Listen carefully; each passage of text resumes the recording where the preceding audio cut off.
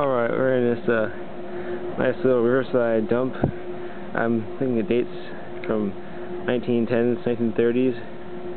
And I made a little cubby hole, so I'm going to dig around here and see if anything else fun pops out. This here looks like junk. Yeah.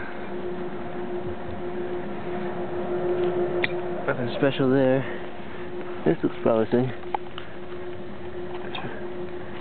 Might be broken though.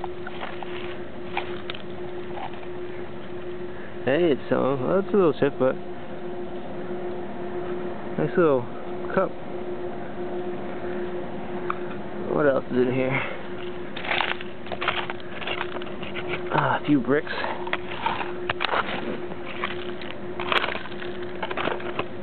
There's a, a plate glass.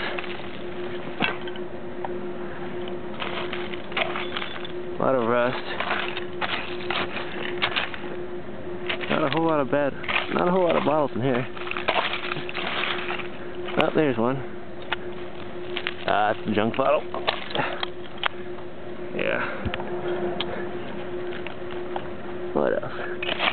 Right this way. I had a nice local milk a little while ago. Oh, I saw a marble. Uh, hang on, I gotta find that marble. Well, that's it for now. So there's some good stuff in here.